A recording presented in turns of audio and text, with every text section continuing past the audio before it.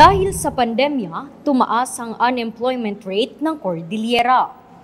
Based on our data, yung nagka- tumaas po yung unemployment rate natin dito uh, noong pandemic. However, uh, I have uh, no data right now uh, available. Dito, ilang assistance program ang inilunsad para sa mga nawalan ng trabaho.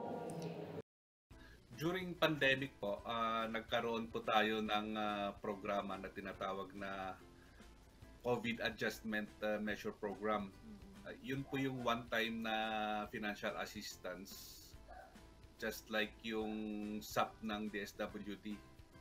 Uh, bali po yung camp po na yun, uh, nagkaroon po tayo ng dalawang tranches noong 2000, 2020 and 2021.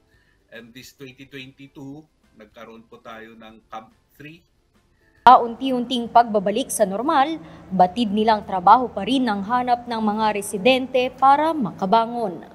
Kaya't, kasabay ng selebrasyon ng Labor Day sa May 1, ay ang libo-libong trabaho sa loob at labas ng bansang naghihintay sa mga nais na mag-apply.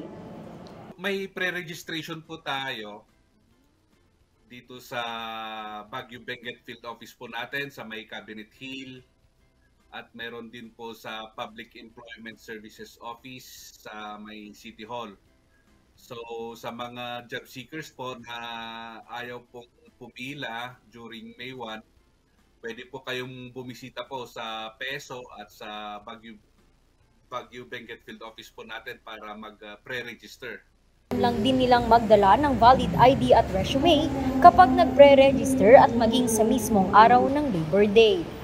Gaganapin ito sa Baguio Convention Center mula alas 8 ng umaga hanggang alas 5 ng hapon. Bukas ito sa lahat ng nais mag-apply kahit hindi pa taga Cordillera.